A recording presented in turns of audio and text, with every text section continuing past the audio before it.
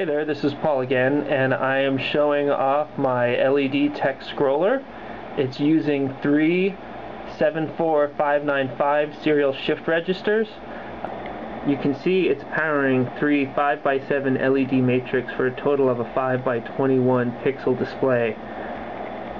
The main control of the LED matrix are these three 74595 shift registers. Okay, because of the odd number count for both rows and columns, I had to do some strange math. And this is kind of what I did to use the most pins I could from the least amount of shift registers. The hard part about this is that the shift registers gave you 8 pins out. So one shift register is doing nothing but striping each three of the 5x7 matrix at once. Then, with the two other registers, I can then create the other pins that need to turn on. So I need to do 15.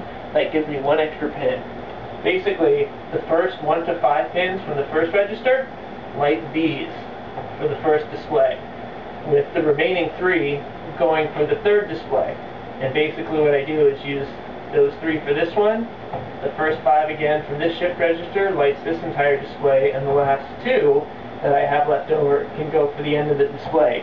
Therefore I'm still only using three shift registers but lighting up a total of 21 by 5 pins I do this for the seven rows one at a time, but it all happens so fast it seems like one steady display.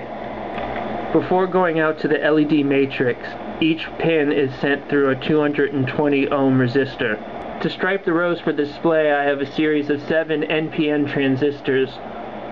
This way, the display doesn't take too much power from the chips.